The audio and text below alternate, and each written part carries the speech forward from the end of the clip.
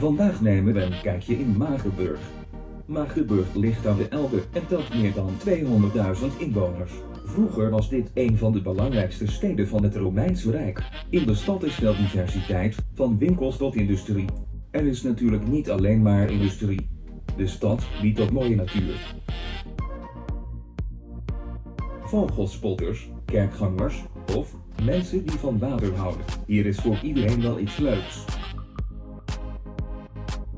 Er varen hier weinig schepen, terwijl de stad wel veel potentie heeft. Daarom gaan we weer even kijken naar de natuur.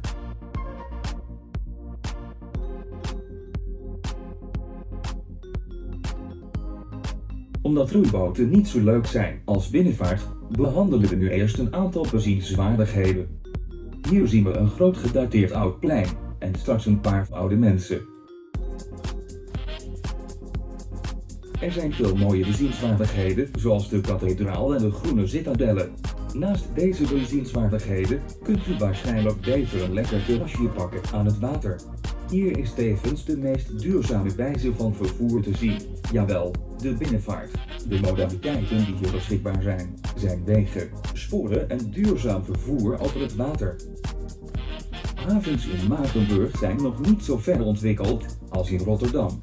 Toch zijn hier technische hoogstandjes te vinden zoals een aquaduct. We nemen een kijkje van dichterbij en bekijken een duwboot welke over het aquaduct vaart. Zoals hier te zien zijn de schepen hier net als de havens nog onderontwikkeld in verhouding met Nederland. Dankzij de aanleg van de WBSW-terminal is het nu mogelijk om schepen op diverse wijze te beladen en zo goederen over water te vervoeren. Dankzij het spoor zijn goederen snel en eenvoudig landinwaarts te vervoeren. Met alle machines en kranen welke op deze terminal aanwezig zijn is het zelfs mogelijk grote en zware constructies te verladen. De haven is belangrijk voor de verdere ontwikkeling van de stad. Graag wil ik jullie bedanken voor het kijken namens BBSW. BBSW. Transport in a green way.